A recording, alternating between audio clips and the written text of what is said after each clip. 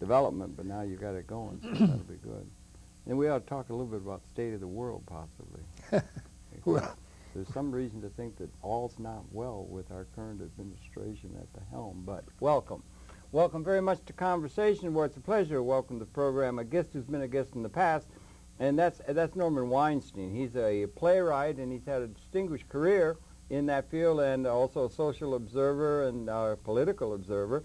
And he's also got a play recently that's just had at stage of reading and so forth about Mr. Bullard. We're going to be talking about that and other matters. And Norman Weinstein, welcome once again to Conversation. Great pleasure welcoming you to Manhattan Network. Thank you very much. My pleasure. We talk. uh, Could you share maybe a little of your past and then or your own background? You know, born and raised, education, and then we want to get in talking about uh, with the play. Certainly, let them know we have a couple of photographs and some music and things. But could you share your own background, please? Well, I'm a septuagenarian, which means I'm pretty ancient. Born and raised Roanoke, Virginia, which Oh. is not deep south, but it was south Mm. enough.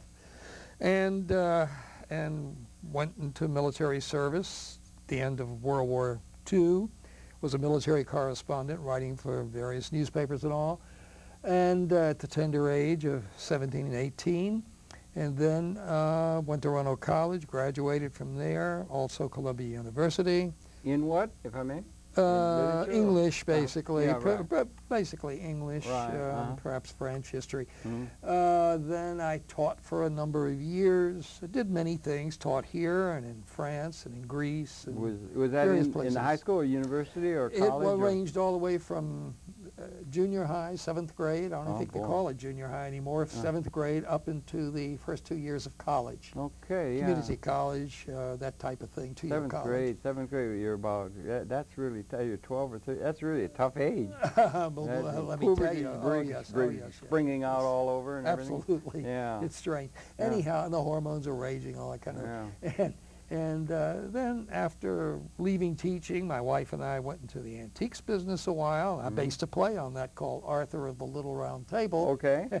Uh, And uh, the Little Round Table being a little Gustav Stickley tabouret. mhm. And I worked some for the Bronx Zoo in the education department, so I've done all kinds of things. But Uh-huh. throughout my life, I've always written, written, written from the time I was a teenager Mhm. and before. And th- this particular play and the man we're talking about, Eugene Jacques Bullard, uh, who was the first black combat aviator, Right. uh, in a sense, completing this play was, to some extent, completing a pilgrimage. it began for me when I was all of 14 years old. about 64 years ago. You did some flying or something. Yes, I, I learned to fly when I was way. when I learned to if I fly when I was 15 years old. That's young. Eh, eh, very young, and Yeah. then I got my, um, I soloed at uh, 16, a young 16. Then at 17, I got my private pilot's license. I belonged to the Civil Air Patrol cadets, did some missing plane patrol work and so on. Did down Virginia? Down in Virginia, Yeah. yeah. mhm. Mhm. I had my pilot's license before I had a driver's Just license. a little bit north of Kitty Hawk. Uh, quite, quite a bit north. Yeah, Yeah. So. I was always interested in aviation and flying, and Family like you doing that? Your mother? no, they hated it. flying? Absolutely. My grandmother was all right. She Yeah. would slip me a buck or two, and uh, I what learned. grandmothers are there for, aren't uh, absolutely, Yeah, they're right, they're yeah. wonderful people. yeah, there should be that's more right. of them. there should be more grandparents. And uh, yeah, I did an end run around my parents, but anyhow, I learned to fly. Paid for it largely by dashing out of school, which I hated, and rushing out to the airport and doing grease monkey work, polishing planes, waxing them, changing oil, stuff like that. And I Didn't earned cotton flying to, time. the classroom. I didn't cotton to school.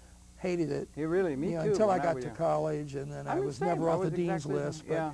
I detested high school. That's maybe why I Too thought I was a pretty good teacher. Is that it? A Yeah. lot of things. It was a Yeah. captivity. I wanted to be in the war, World Yeah. War II, obviously. I wanted Yeah. to be a hero. You were too young stuff. then, is that it?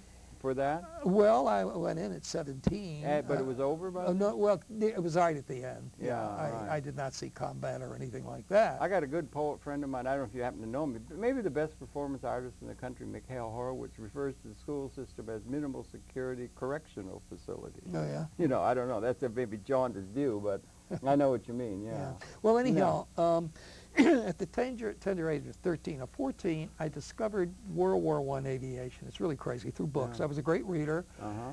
And in the process of becoming uh, very knowledgeable about World War I aviation, which is just, after all, a dozen years after the Wright brothers flew in 1903, uh, I kept running across reference to, to a, a black flyer. Mhm. Some of the references were very pejorative. The N word was used Mhm. sometimes, black of ace of spades, other Mhm. times with some admiration. Mhm. His name was never mentioned. Uh-huh. And he was a part of my inner being. He- I buried him somewhere, but he was always there. I did not learn this man's name until 10 years ago, and Uh-huh. that quite by accident when I was riding on a bus on Amsterdam Avenue in Uh-huh. New York City. Uh-huh.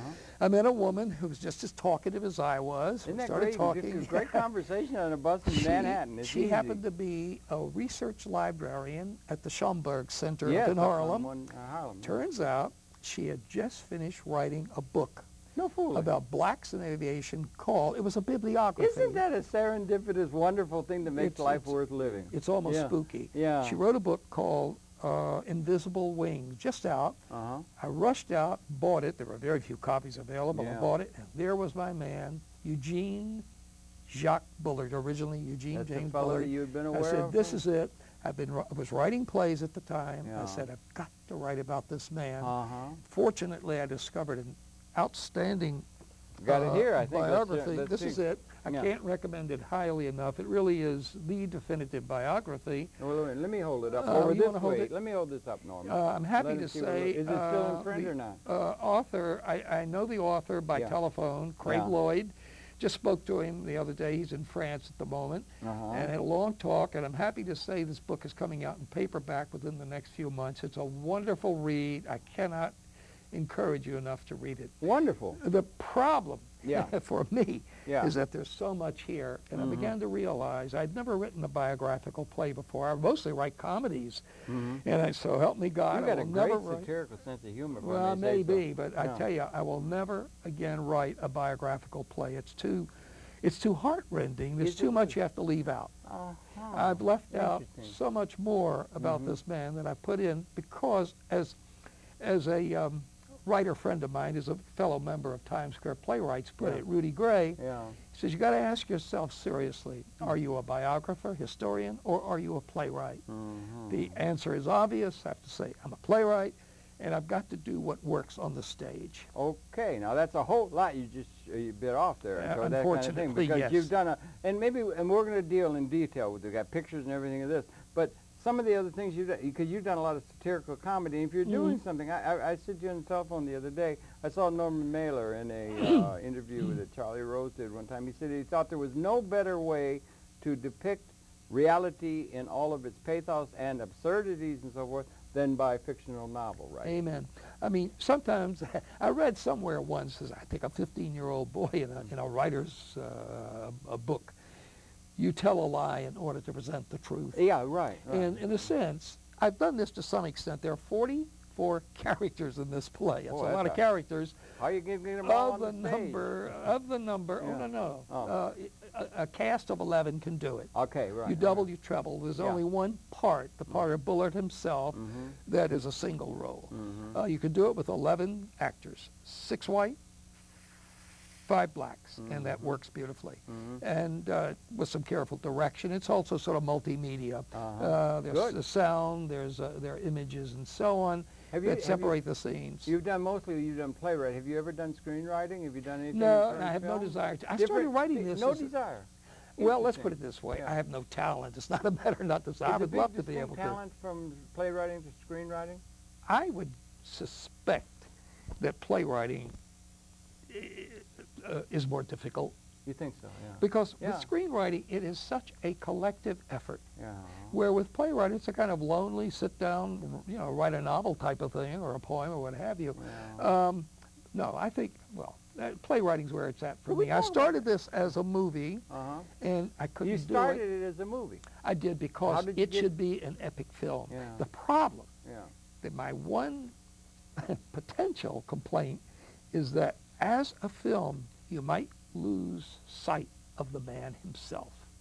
Uh, Uh-huh. Could I read? Uh, this is from a flyer. Could I? Could I just read this one little Sure, blurb? and then let's show the which I flyer think, after uh, you've read well, it. here's You the flyer if Here's the flyer, maybe you can read from it. We can, do- we can do both, multimedia. This is a flyer for the next public in- reading, and which is gonna be up in Mount Vernon. here, right? Yeah, I just want to read you. No, keep your hand out of the way so they can see it. I'm Okay. Gonna hold. And, I- uh, the name of my play is A Man with Medals and a Man Without. mhm.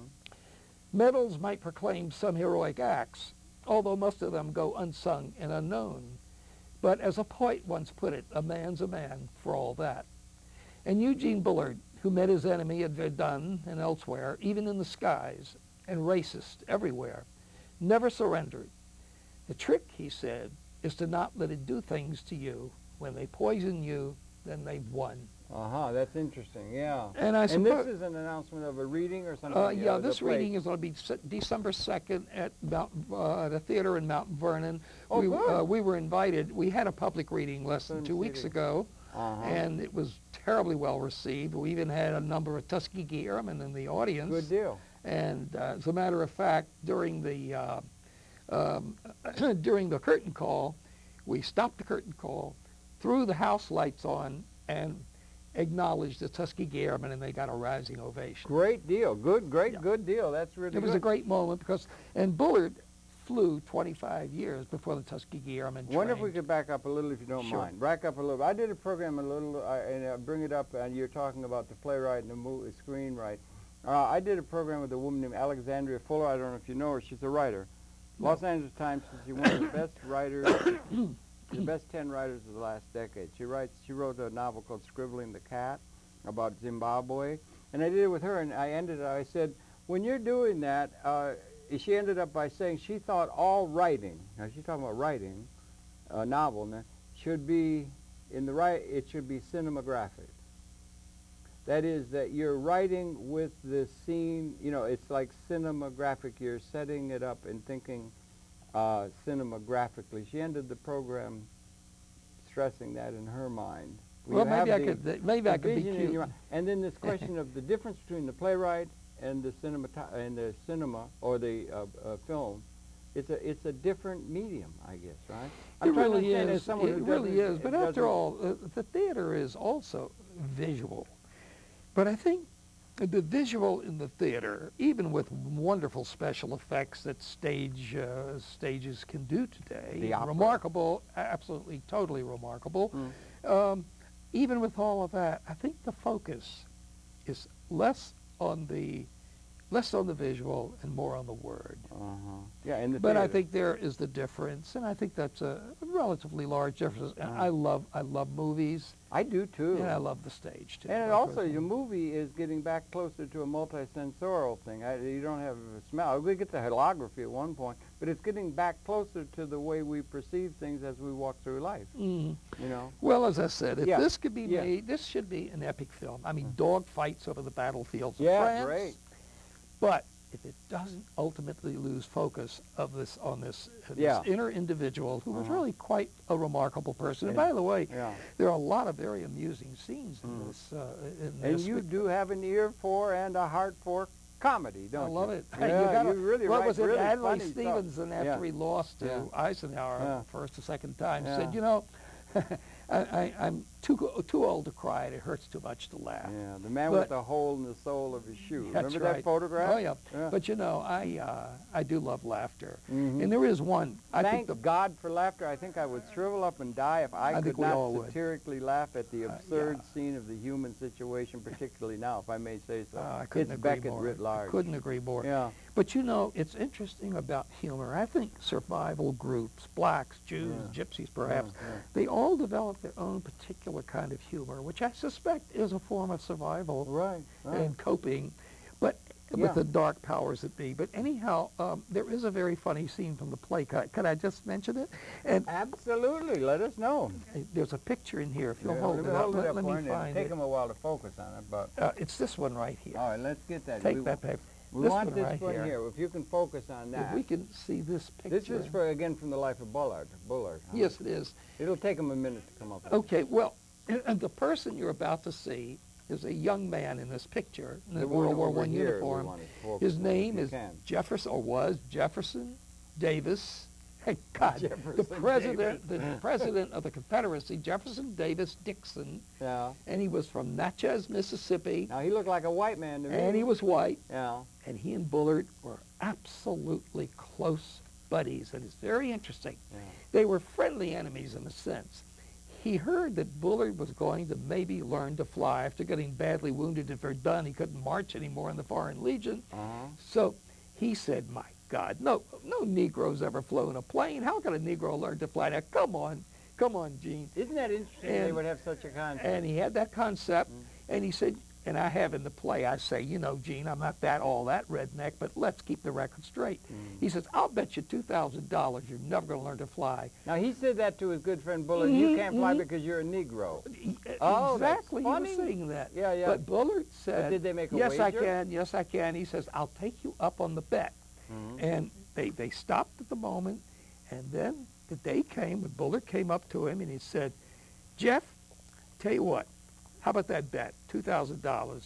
Jeff said, you ain't got that kind of money. Two thousand dollars real 2000 money. that's a real money. real in money in those days. Yeah, Bullard says, hell, I don't. yeah. Uh, he got him a back. got him a and he backer. counted out his $2,000. And of Uh-huh. course, Dixon nearly dropped dead. He Uh. counted out his. They had the bet. Uh-huh. And they met at a cafe, and the two backers, the two white friends of Bullard, very close friends, Mhm. both of them painters, by the way, Mm. successful painters. Who were they? You remember? Uh, yeah, one was named Moise Kisling, uh-huh. a, um, a Jew from Poland hmm who came to Paris to learn to paint, Right. joined the French Foreign Legion, Mm. like Bullard, Mhm. got shot all to hell, hmm wounded a hero, Right. was made a French citizen as a Uh-huh. result. Uh-huh.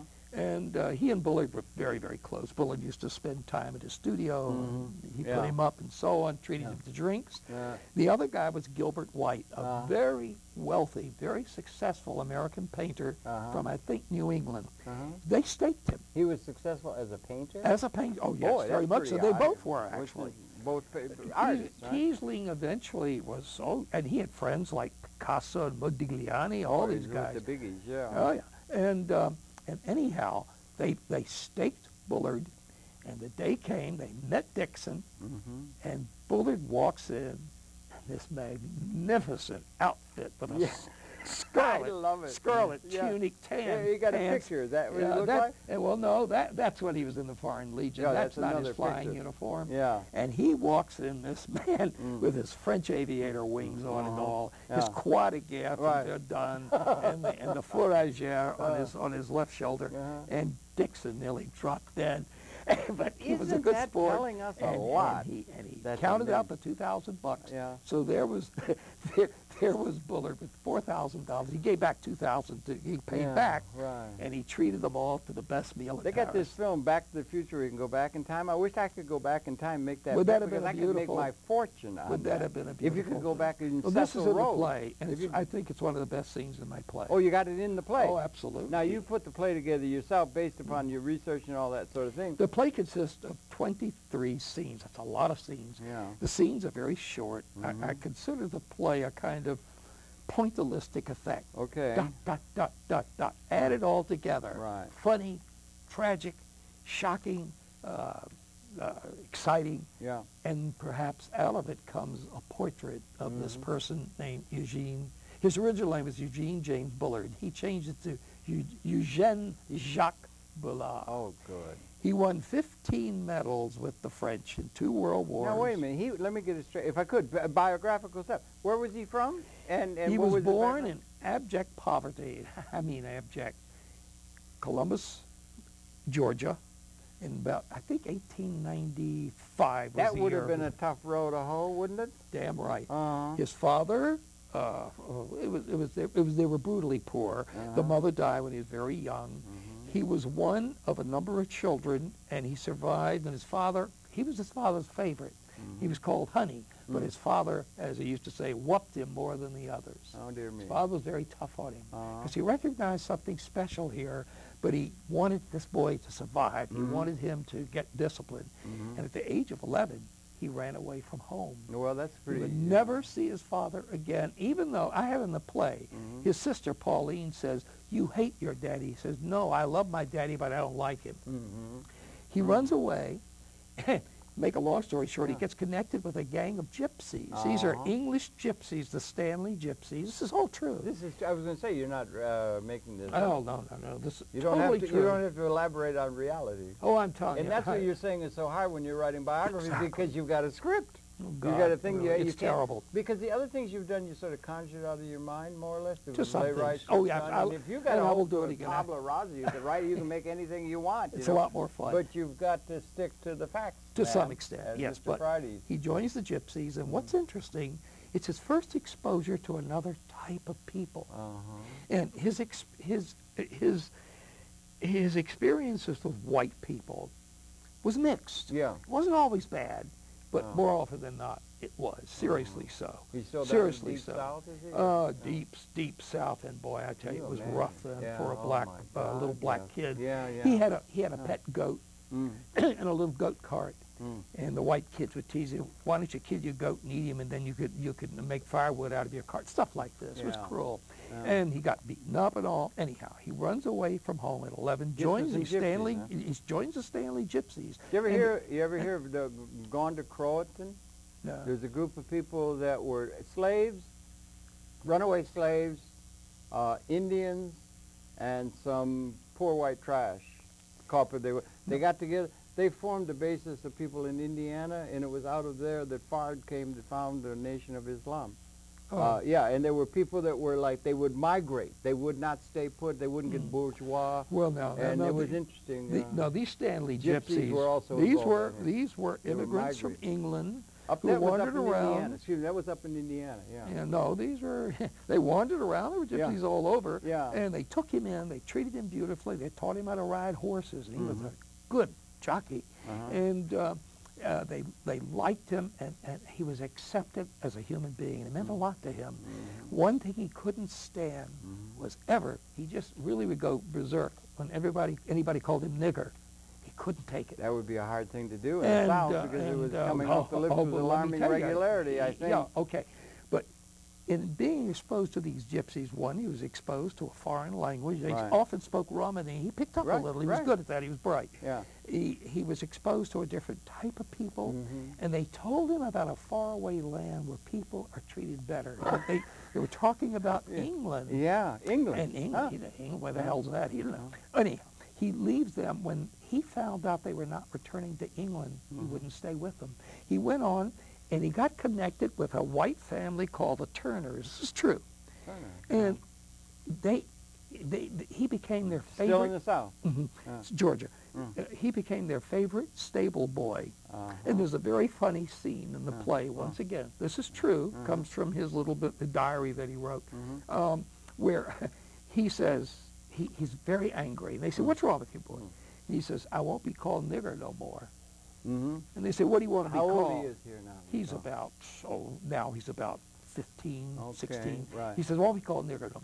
And they said, well, what we call you? Uh. He said, you call me Genie, you call me Gypsy. Uh-huh. He says, all right, we'll call you Gene. Yeah. And he says, you get all the, he said, we call all, all these servants niggers. That's, Yeah. the, that's the way it is. yeah, right, right, so he calls them all in. Mhm. And he says, you listen up. This here boy is called Gene from now on, and that goes for all you niggers out there. that's a scene in the play, and it's a true scene. Uh, true scene happened, right? You've Yep. done a lot of research on this guy, right? Oh, God. Yeah, and he's, uh, then huh. he stows away, make a long story short, he ends up in Norfolk, Virginia, stows away on a German freighter called the Martha Russ. He's got Uh-huh. all of 50 cents in his pocket. Mhm. He gets captured. They find him. He's half starved. Uh-huh. And they they're, they're rough, but they treat him rather decently. And he begins to pick up German. He apparently has a linguistic Mm-hmm. Yeah. ear. Right, right, right. And he picks up German, and they put him to work in the boiler room. Wow. I have seen Hairy ape. and oh boy, but he and he says he says first, can't be hotter than Columbus, Georgia in July. But he Yeah. comes up on the deck and he says it's hotter. Yeah. Make a long story Yeah. short, they discharge him and they treat him pretty decently. he gets over to and Germany. they pay him something to. Yeah. He gets to Aberdeen, Scotland, Aberdeen, Scotland, yeah. and he says even though they, they everybody calls him Jack Johnson Oh, yeah, they're because he's the reference, Mm. and they treat him all right. Mhm. He ends in up Aberdeen. in. Aberdeen. He Yeah. ends up in Liverpool. He Mhm. learns to fight. He meets a, a, a black fighter named Dixie Kid, Mhm. Aaron Lester Brown, real Mhm. guy, Yeah. West, welterweight champion, who takes him over, Mhm. teaches him to fight. And Bullard's a good fighter. He's Yeah. not great, but Yeah. he's good. Right. He, in between, does some very humiliating things. What was his weight? You know. he Heavyweight, was, light- no, no, no, no, no, middleweight? no, no. He was, I think, lightweight. Lightweight. He had to come up to lightweight. He was Uh-huh. not a big man. Uh, no, okay. and um, uh, he he does all. He joins a group, a touring group called Freeman's Pickaninnies.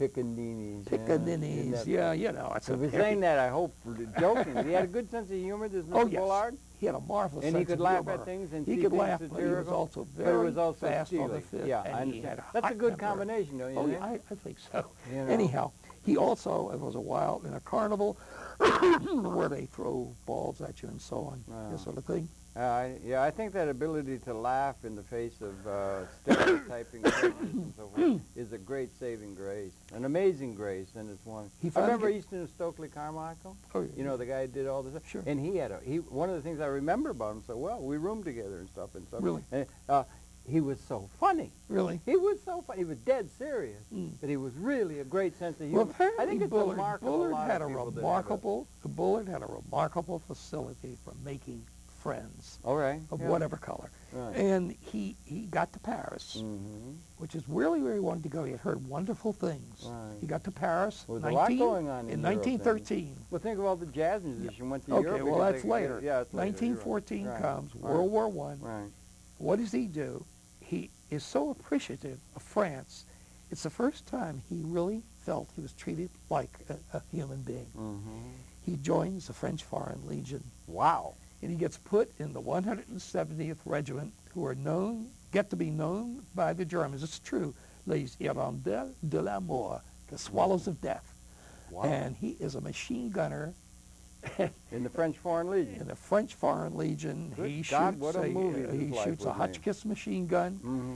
And he goes through all kinds of battles. He gets a bullet grazes his head, blood trickling down, but he goes on. They give them tafia to drink, which makes them wilder and crazier. Give them what? Tafia. It's a very, Tafia. it's, like uh, the. Greek raki. It's a very alcoholic drink. Like a rock. This- It, no, the raki, R-A-K-I. It's, it's it, uh, like uh, tafia, T-A-F-I-A. It's, Okay, a, okay, uh, okay. I it's a drink that makes them crazy. I'm learning. Okay, yeah.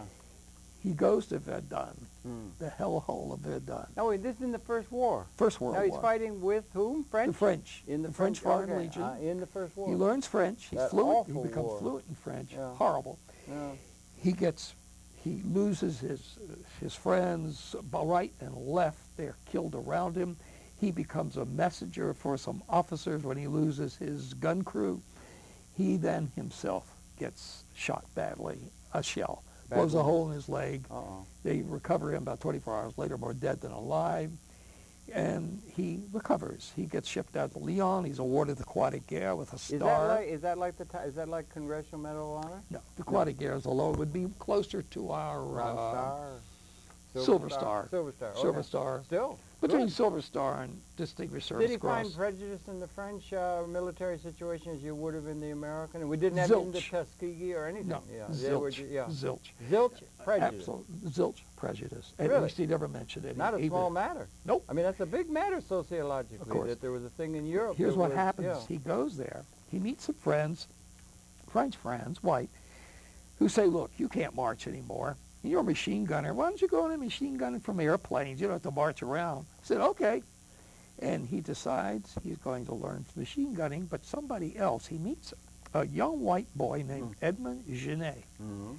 a young Genet. white American Genius. who he even refers to in letters home as that Niger, N-I-G-E-R. He can't spell nigger Yeah.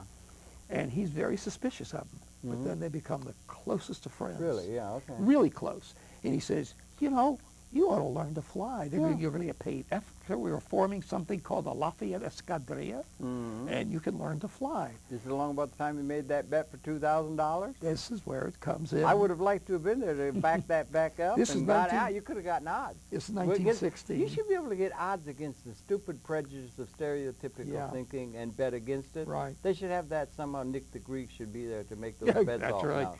Well, anyhow, Yeah. there it is. And he learns to Mm. fly. He, uh, he shoots down two planes. They're Mm. unconfirmed. One of his closest friends is a crazy French aviator named Jean Navarre. Mm. a, fi- a great French ace hmm and a total lunatic, and they Mhm. become very close. He plays all Lunatics of kinds the of world unite. yeah. He Yeah. becomes a Bullard, one of Bullard's closest friends, Uh-huh. and he's a total maniac. And uh, they pal around a lot. Mm. And Bullard Bullard has a prostitute friend, Mm. and he manages to get off of her her little pet spider monkey, Spider monkey. and he flies with a They're little monkey, spider a monkeys. little spider Yeah, monkey I about know, this yeah, big, yeah, and he flies with the spider monkey, In puts it under his tunic. Wait a minute, how did he learn to fly? In the French... Uh, yeah, the French taught him to fly. him, you right. know, you learn to fly a Spad airplane, which and when he the- made the bet, he wasn't in the French thing where he was learning yes, to fly? he was going. He was going, going to, to go learn into to it, fly. right? Yeah, What a great situation to make a bet. And he flies with his pet monkey Jimmy, and um, he, he he comes home one day with 96 bullet holes in his plane's tail. It's a better the plane's tail than mine. What a great movie this could be. Like Yep. the Sting. I mean, the thing of making the bet and doing that, what a All movie. this, yeah. Who's going to play him? in the movie? Anyhow, the Yeah. war ends. Yeah. He's um, he meets. Oh, Will Smith could play him, maybe. what happens is this: the Americans enter the war, Yeah. And he's not overly enthusiastic because Yeah. he knows damn well what's going to happen. Because the Americans come to France with their enthusiasm and their arms and their might and their, their Did energy. Keep did he keep his American citizenship all the time, or what? Or No, no, French? he, he retained it because um, in the state, if, if you went joined the Foreign Legion, you weren't asked to renounce your citizenship. Right. yeah. If you joined the British military, you had to renounce citizenship. That's interesting. That's so anyhow, note, yeah. he he um, he, He was an American. He had very mixed feelings Yeah. because he knew what was going to happen. He was totally right Uh-huh. because the Americans came over with Jim Crow Yeah, uh, isn't that in the military, Isn't that interesting? and What I a mean they came over. Let's take one re- one great uh, black American regiment, the Harlem Hellfighters. They weren't called that then. They were the three, the 15th uh, uh, Lightfoot Infantry- Infantry Uh-huh. came there. They were trained to fight, but Pershing, listening very seriously, General Pershing, head of the American armies, Yeah. listening to his fellow officers, uh, subordinates, said, "We will not, we cannot, absolutely will not go into combat side With by side with blacks." So he, what he something? did, the French were so desperate, he says, "Okay, I'll give them all to the French," and he did, and they became known as the 369th Harlem Hellfighters. They wore American uniforms with French helmets. Uh-huh. They were the first, the first fought Tuskegee. decorated Yeah, yeah. Tuskegee. Minute. were Yeah, I 25 know, I know, I know. That's I know. Second World I know, War. I know, I know, I know, yeah. They Yeah, became the great. first French American unit decorated by the French. They were the first croix de guerre among the American units. They were Uh-huh. the most heavily decorated and the first to reach the Rhine. The most heavily decorated among... and. Pershing still did not allow them to march as a unit down the Champs-Élysées through the Arc de Triomphe after the war. What a movie! But listen to And this. that's real. Yeah, that's real. Yeah. Listen to this. When they marched out, when this regiment left Harlem and New York and so on, they wouldn't let them march down Fifth Avenue. Most of the units would march down Fifth Avenue over to the boats and go over there Yeah, to the yeah, docks. Yeah, yeah, They didn't let them. yeah. Coming back, they were so decorated and Yeah. famous. Mhm.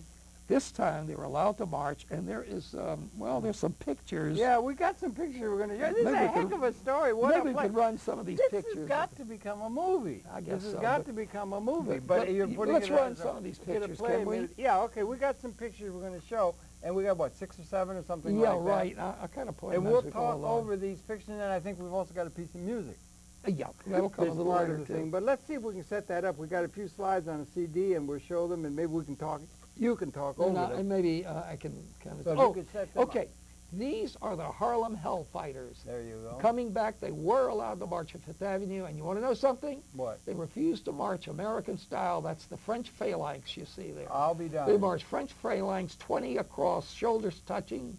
And guess who was the drum major leading them? None other than Bill Bojangles Robinson. Oh my God! Who was one of the Harlem Hellfighters. Was Mr. Pershing upset that they marched in the I don't know if he was. He should have been. I'd like to have the Who close the hell up scene cares? of his But they face as got they did. they got an incredible welcome, and there this they would are. have been about 17, 18 now, or something. this is 1919, and there they are marching in front of the public library. I didn't know they had that thing going. What a story. Okay, Yep, good. that's And the this French is in. New York now. New? York City, Fifth right Avenue, here in New 1919. 1919. Yep. God bless them all. And there they are. Uh, Yeah. Will the, a new picture come up now? Uh, Yeah, you can change this picture. We can go to another picture. Yeah. Well, they're going to come back to us, I think, and then go to the picture. I think that's what they're going to do. They're going to set Oh, up another picture so we can talk between well, them. That's tell you, one of the story. great things Yeah. is that the Harlem Hellfighters, and, Yeah. and of course, Bullard became we friendly up with the these next guys. picture when you get a chance. Bullard became friendly with these guys and escorted them around because after all, Bullard was the man about town. Yeah. He could speak French. He knew his way around. Knew he a lot knew of how to get artists, the, knew a lot of he friends. knew Yeah. the art. He knew everybody. yeah.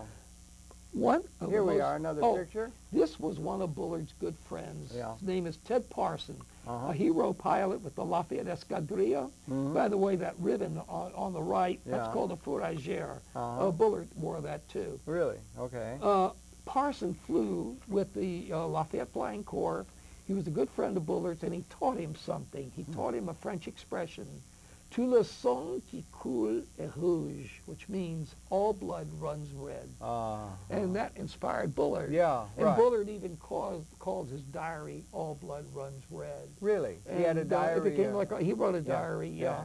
And, uh, but that uh, was a good friend of his, Ted Parsons. That's a rich source for you, that diary? You had access to that? uh, Or is only it partially. Only Partially. Oh, yeah. It was never published, unfortunately. I think there's going to be more research on this man. Oh, I, I suspect yeah. so. Yeah. Anyhow, Parson uh, remained his friend, Uh-huh. and in the Second World War, he became an admiral of all things. Mhm. He's dead now, of course, but uh, yeah. anyhow, that's Ted Parsons, a good friend of Bullard's from the Lafayette Flying Corps. Yeah, and we're going to move along with some of these pictures, and I, I think Okay. they're just going between them and everything like that. Uh, what a story! One of the most fascinating things about the Harlem And you go, you go way back, ten years. You you picked up on the man's name finally. huh? Finally, yeah. But it was way back in your conscience when you when were I was young. 14, when I Yeah, first heard it's about really it. interesting. Anyhow, That's interesting in and of itself. but you got to realize there were Yeah. a lot of racial things happening at this time Oh, my because of the yes. Americans. They even came over, the Uh-huh. American military Mhm. created a white paper Mhm. in which they instructed French officers not to shake the hands of blacks, No. not to eat with, not to socialize. Oh, you can't imagine. It's all in the Isn't play. that interesting? It was bad. There was this. What about in Germany? and yet, on the other hand, Mhm. you had you had he had marvelous white friends, American, French. That's what's incredible. Yeah, And then yeah. you had these goons, these uh, Yeah. these uh, uh, Ku Klux crackers. Yeah, right, right. And right, uh, right. some of it rather high level too. Uh-huh, they weren't uh-huh. all just you know from Yeah. the farms of Mississippi. Yeah, right. Oh no, far from it. Yeah. But anyhow, one of the most amazing things about the Harlem Hellfighters was their marching band Mm. Yeah. under under the uh, leadership, the maestrosship of of James Reese Europe, Uh-huh. and they were the ones, Uh-huh. this military band that brought jazz to Europe. No kidding, really? And I That's think what we made have, the way have, for all the one jazz song uh, Yeah, we're going to play them. in a while, but we got to show some more of those pictures. I don't know if they can come up with some others. We have some other pictures. Yeah, we'd and like if to they can show bring it, we do that. them. And Ah. then, okay. Yeah. This we're jumping ahead. This is in between the wars. This is Kiki. Kiki Mm-hmm. Montparnasse. she was an artist, model, Mm. mistress, a painter himself. Uh-huh. One of the people that uh, Bull- Bullard knew everybody. He knew all the people in the art scene. After all, Bullard had a little, uh, uh, created his own little nightclub called the Grand Duke or the Why Big don't they? Where? Where? Uh, in Montmartre. in Montmartre, in, uh, Paris. yeah, on the right bank And he, he knew he was there in 1905 or something He around was that time. all from that between the wars. year? He was there Yeah. from during the 1920s, Uh, uh, okay. 1930s, Uh-huh. and then of course World War II came and he Yeah. joined the resistance. Yeah. But uh, Well, we can run some more. They'll be bringing those pictures up. we got a couple more of those pictures. do, and we'll we do have a piece of music we want to play. I would love to what play a hell of a story. And you're putting the. Has there been anything that? How much has there been written on the man? Has there ever been a documentary made on television, History Channel? Has there been a film, anything like that Not about? really. making- No, this man's not well enough known as I deem he is destined to become. Well, uh, he's pretty unknown, but at last, What a the. American government finally officially recognized him, made him a second lieutenant. Here we have many years after his picture. death. Ah, in 1950 something, he's Oh, an elevator operator at Rockefeller Center. Back in the States uniform, now, then. And that's Dave Garroway, who had a famous show called The Today Show on I NBC. remember it well with monks. And he invited him to be on his show for 15 minutes, one minute for each of his 15 medals, all given him by the French. This one medal, which is the equivalent the highest French award, is called the Legion of Honor, Ah. the Légion d'honneur. He was running a, an elevator uh, in Rockefeller Center Isn't when he that got the call from the French consul to come down and get his Legion of Honor. Isn't that something, How's right? that? And he was on with J.C. Muggs, or what was the name of that monkey that Garroway had? He had a number on there. I remember Oh, that. I don't know No, that. but that's great. But that. anyhow, he, he was And on that the would be the top honor the French can bestow, or is that getting that medal that he got? He got the Legion of Honor late. He got the Legion of Honor. He was but I'm first saying is that proposed. Legion of Honor is a top medal like our Congressional yes, Medal of Honor? It would be the equivalent, yeah. Now you He see, had there's a his- great scene, yeah, Norman. yeah, That's well, a of great scene when they do that. And he and you went could, down, you could have that in got the it. movie. I'm seeing it as a movie. But the French, Yeah. the French, in 1954, Mm. invited him Mm. before he they even gave him the Legion of Honor Mm. to come to Paris, all expenses paid. Mhm. And this guy was poor. He Yeah. lived on East 116th Street in Harlem. He was very He's poor. been hanging out with all these people, winning medals, and he's Yeah, right. poor, and He's he's, poor as a church mouse.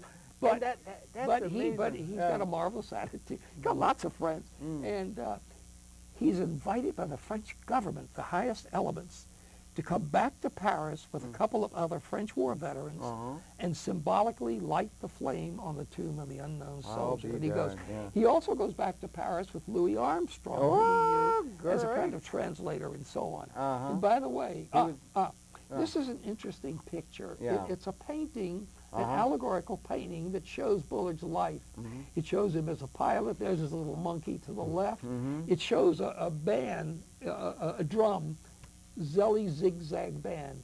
He played a drum. He lied. He said, "Oh yeah, I'm a great musician." Yeah. And he played a drum. He said, "I wasn't very good, but I was noisy." Uh-huh. And he kept him alive for a while because after the war he couldn't box anymore. His body was so He had been damaged. wounded also. yeah. Yeah. And um, It's hard to you box when you see got a everything bullet in in that leg. picture, but it, Yeah. it's quite interesting. Yeah, yeah, yeah, indeed, yeah, yeah. And but it's sort of an allegorical make, picture. wouldn't that make a great postage stamp?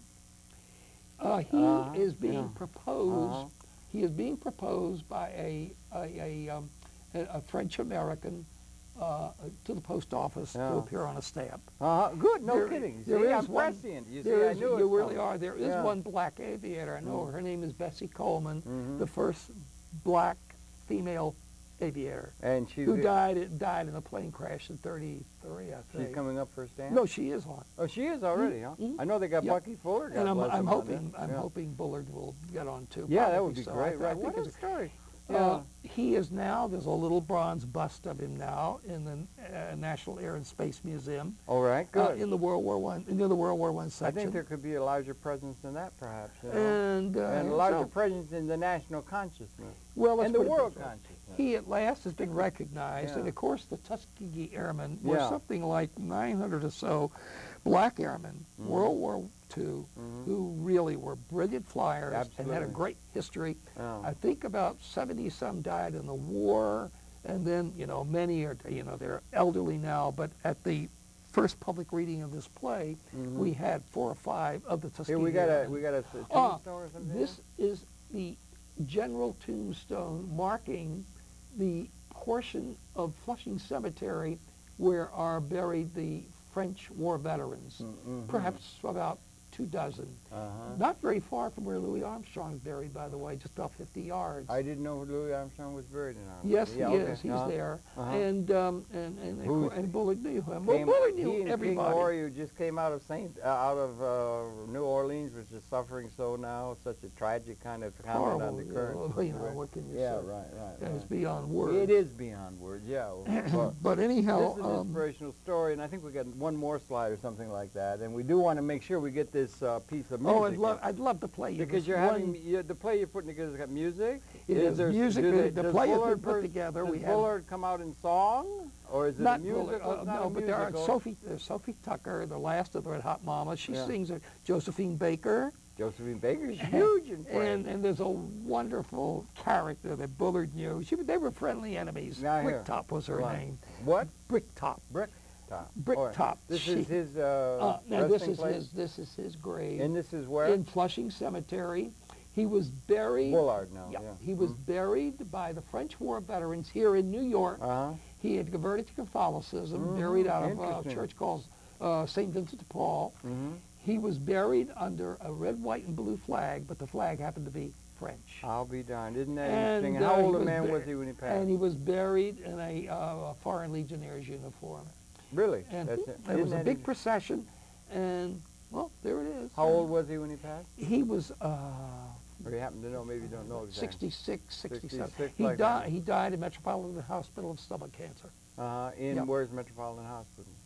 100th Street. Uh, and, Here in uh, New on York, the east right? Side. Yeah. All right, mhm. right, right. Yeah. What a story! What a story indeed. That's incredible. amazing man. Yeah. And I think the big thing is, to repeat again, is that this is the man who had uh, every reason to hate a lot of people. he- Uh-huh. He, didn't. He He- fought. well, that thing you he was an Uncle Tom. Yeah. He decked many a redneck. Yeah, okay. He was quick with the fist. Right. In fact, Bricktop said, man, you have a nasty temper and you have a foul mouth. Uh-huh. He would deliberately curse a lot in front of to get her mad, you know. Uh-huh, uh-huh. And he, he was an interesting man. Yeah, he sure was, and what a story it is indeed. And this is all going on in that idea. I hadn't realized that they actually went over, and the, the, there was not the prejudice there, and they brought the Jim Crow with them from the United States. They did, and That's America's yep. export to the world was Jim It Crow. really was. During Uh, the 20s, it was yeah, the same thing. yeah. Over and over Uh, and over yeah, again, uh. they encountered this. But, you know, you had, you had Well, other I'll tell types you, you had some pretty bad uh, racism coming out of Europe because I, re- I keep reading every year the the, the thing of uh, Cecil Rhodes. Cecil Rhodes and the and the racism was so thick that it was hard to believe. Yeah, and then the British, the Belgian uh, racism yeah, in Africa. And, and the racism, it was very bad. white man's, ver- Yeah. and we still got that remnant there, and it's still a big question. But you know, Bullard became, Bullard did become, was made a French citizen uh, with full. What a great story! with- it's with got to be full, made uh, a movie I would hope or so. a documentary or something Love like to play that song. Yeah, right. And on. we got a song, right? We got a song, and you we got that. That's good. We're gonna just keep the camera on us, but we got a song. This Tell song what is, is. called "How You Gonna Keep 'Em Down on the Farm." One of the most popular songs to come out of World War One. Here it comes. Uh,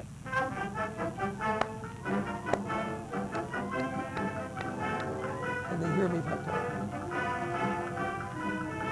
I don't know if they can hear you. You could try and talk, but I don't don't- talk too loud. Keep it. All right, I'll hold off.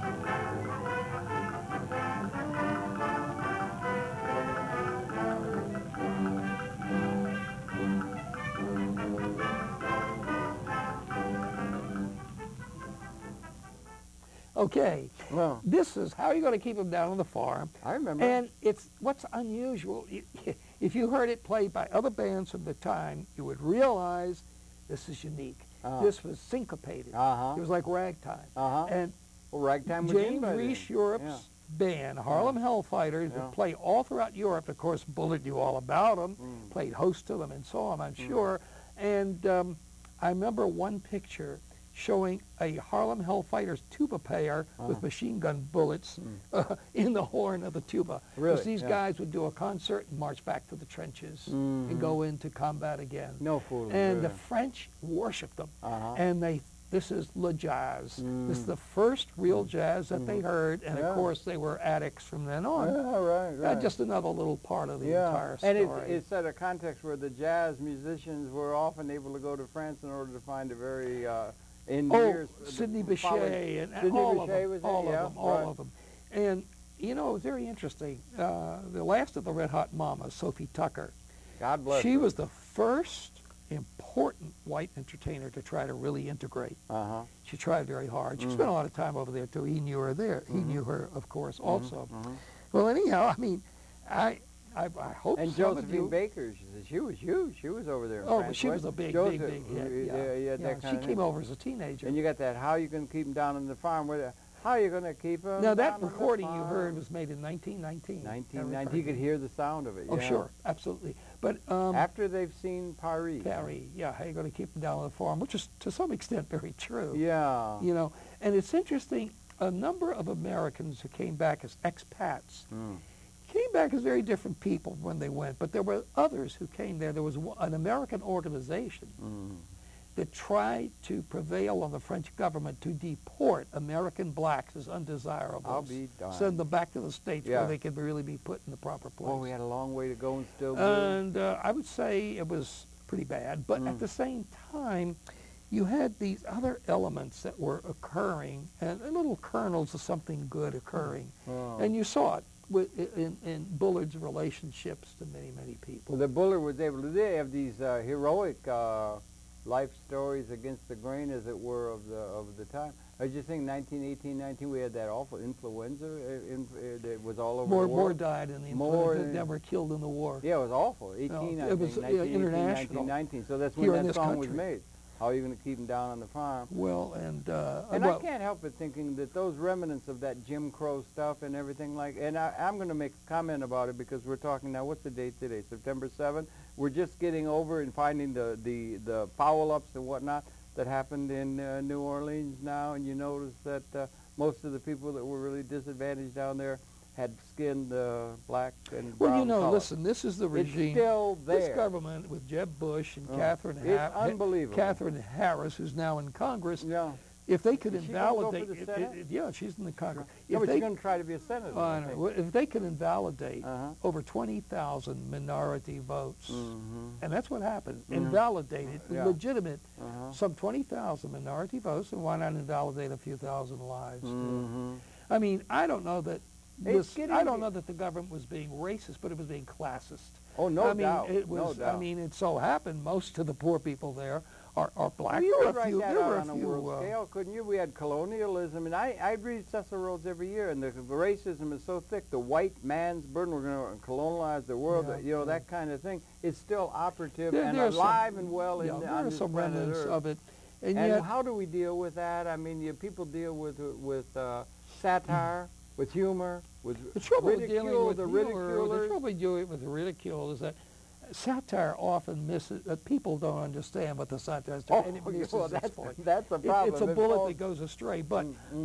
but um, But it's really, bullet, really important. Yeah, you're doing very it. is You're very keeping that comic ed- edge to this play. And There's a lot of it in there, yeah, sure. Yeah. Uh, but but with And he with- had that part of his know, personality. it's a serious play with Yeah. comic with comic elements, Oh. but this play is very upbeat. Mm-hmm. I mean, Okay. it, it, it says things can be better. Mhm. They often are. They Mhm. will be. They Mhm. must be, and so Mhm. forth.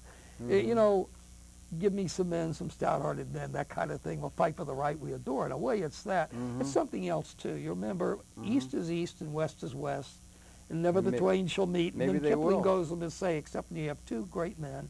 Two strong men come together. Did shake say hands. that, Kipling? Kipling, In that who very was very much an imperialist, of course. Yeah, yeah, No, right. not in my plate. Yeah, no, no, no, but he did say that because I Yeah, always east use that east, west Kipling west. Yeah, that's a Kipling And let poem. two great men meet. It's called the Ballad of East and West. Is that what that is? and he says two two brave men from differing camps meet, Mhm. and they. So he had very mixed feelings. Yeah. He lost his own son in the war too. Did he? I didn't realize Yeah. that. Um, but But uh, they meet on the plaza of uh, globalizing world and so forth. And these things all come, and there's still these things, and so satire is still a really good vehicle. Maybe we could take off, if you could. That's what's a story. It's got to go. I wish you all the best. Let's let people know again. You're you've done a reading, and you're going to put it out. there's You another a public. it's a stage reading. It's going to be Let's hold in, it up um, again. it, That's in the theater in Mount Vernon. If you want to contact me, my email. I'll be We're gonna put that you know. up It's going to be. December the second. Uh, I believe seven o'clock Mm-hmm. p.m. And it's a 300 seat theater, and Oh, really? reservations recommended. And uh, hope you'll come. Ernest and- Davis is the mayor out there. Nice guy. Uh, really? Ernest Davis is the mayor. Yeah, you want to yeah. get in touch with him? Let him yeah, know. well, he know, he'll, he'll, He'll know know. about Yeah. he's a good right. guy. Yeah. So anyhow, I hope That's um, really great. I hope some of you will be able to, to make Absolutely. Now, why don't you take off a few of the other things? You've been doing this for a long time. I mean, you Well, I have another play. I You got another play? Got another comedy. thing going, do you? This is a Here we go. a- Let's a let 'em total see it. The ongoing, uh, the ongoing creative overflow of This Norman a- Weinstein. huh? yeah, this is a full-fledged equity production uh, Uh-huh. being done in uh, November at the Producers Club on 44th Street. Uh-huh. It's a sheer comedy. It's about a what I call a three a a, a, a, comedy about an almost normal three generation family. Uh, almost, normal. They're a little like yeah, it's a little like you can't take it with you. Yeah. Life with Father, and it's it's it's a fun thing. Now you've written this. In, in, Yeah, that's my Now you play. write and direct and so forth. In this what? case, I'm also directing. Uh-huh. yeah. What about the Bullard thing? Uh, the Bullard thing? No, I'm not directing You're that. not dir- Uh, a person named Tom, a, a, guy named Tom Thornton is And you got some that. good talent in there. and yeah, Yeah. Uh, the, these are people out of our group called Times Square Playwrights. Yeah, talk a little about that. We got a well, couple minutes Times. Square Playwrights Yeah. is a uh, an organization of it varies anywhere from 40 to 50 people. It's about uh, it's probably about mm, 40% playwrights, 60% actors. We meet mix. religiously once a week, Tuesday. Happy to come you down, come down. We meet usually on Midtown, 54th Street, different venues, and uh, we have cold readings. We have readings of short scenes, Uh-huh. 10 minutes, 15 minutes, Mhm. um, and the actors do absolutely cold readings. They're usually pretty good, Mm-hmm. and then there's an overflow and there's commentary. Forty percent right playwrights and uh, About 60% 60% actors. This- Yeah, roughly, That's not yeah. in keeping. I mean, you get a play, you got 40 people in the play and one playwright. So that's not the right Right. ratio. How come there's so many playwrights as to actors in the in, In, in this? Yeah, I mean, 'Cause if you- it- it's called like, Times Square you only need one playwright to know, write the whole thing and set But it out. You the need all these actors. Uh, Well, it's a playwrights organization. oh, that's why. Okay, It's called right. Times Square Playwrights Oh, for a play- reason. I'm yeah. sorry. I'm sorry. I didn't catch Now, that. actually, several of our uh, best actors are, oh, they wear two hats, are also playwrights. Mm-hmm. Yeah, right. And they, right. you know, wear, wear different roles, Oh. men, women, black, white. We have a wonderful mix, really Mhm. old, eh, we have one very elderly actress. Mm. I'm probably the Grandpa Moses of Broadway. I'm probably the oldest one there, but we have a few others who are pretty, co- yeah, crotchety yeah, you're gonna live yeah. forever. Yeah, and we have some very young ones. Yeah, yeah, yeah. That, that, that, that's really good. You're putting. I really congratulate you on all of that. Have you written a novel? Uh, thing? I we only got a minute. wrote a novel, other than in the playwright. totally unsuccessful. I do have a book of poems I wrote. You wrote. We spoke about it Yeah. on another program. Uh, it was a book of political or engagé poems Mm. dealing with the Greek uh, dictatorship Uh-huh. in the 1960s have and you 70s. written a book of uh, poems about the current dictatorship that's that's emerging no, on it's a little planet? too close to that. I'm afraid it would be too nauseous. Yeah, it might that- be too. yeah. nice. That's some things Yeah. are just too nasty to present. No, I can't. I, I know. I, I know. can't really believe that Uh. 59 million of my fellow Americans voted for these thugs. Uh-huh. and um, and it know, continues and seems to just get worse. It, yeah, really, seems, things uh, can always get worse. They, They, can do. get yeah. worse. And maybe if Yeah. they do, and in times when things really get worse, if we ever need satire and a critical look and That- a satirical look at things, Well, I did write it's a in satiric. those yeah. times. I do have a satiric play. It's called Monkey's Nephew. The Mm. monkey's nephew is uh, Bush, Yeah. and he comes in contact with the ghost of Darwin. Darwin wins. And, uh, Norman, so good to see you. Thank Your you very pleasure of the perception of a great New York uh, treasure, if I were, Norman Weinstein, playwright. He's got this program. Happy to have presented to us the personage of Mr. Bullard, who I uh, venture to predict is going to become much more well known in the national and world consciousness because the story is absolutely phenomenal. All the best on that and all your work, and thanks a lot for coming in and sharing your thoughts Thank you for having me. my great good pleasure and your pleasure to have his perceptions. We uh, invite you to tune in. Altogether too short. We could go on talking for hours, uh, but we invite you to tune in. We'll be coming back again tomorrow. Thank you really very, very much, Norman, for all your work and for, as I say, coming in. It's good to see you again. You're welcome. Until tomorrow, then. So we could That's go it. on and on. No, we're not quite through because I got to roll the credits. I got to give you your Okay. email. So Oh, don't right, anything right. on toward young man because No, I won't. I'll, I'll try to watch my language. I'm trying to watch your language. Bullard certainly didn't. He, uh, Yeah. he, was a two-fisted So who's going to play him in the movie? Well, I tell you who's playing him on stage Yeah. is a young actor Uh-huh. named Scott Williams, and Uh. he's absolutely terrific, Got and he's a marvelous cartoonist too, by the way. And have a good director, Tom Thornton's doing a fine job directing and also acting in it. And I Uh-huh. have a cast of 11. Okay. And uh, as I said, I hope some of you will come see it, and I hope and it'll have. and uh, you, you're having final cut say on how the play, play is presented, or is the director making changes, or how does well, that he makes out? some, but with Sometimes my the playwrights we, get we, upset with what they do. Oh with the no, no.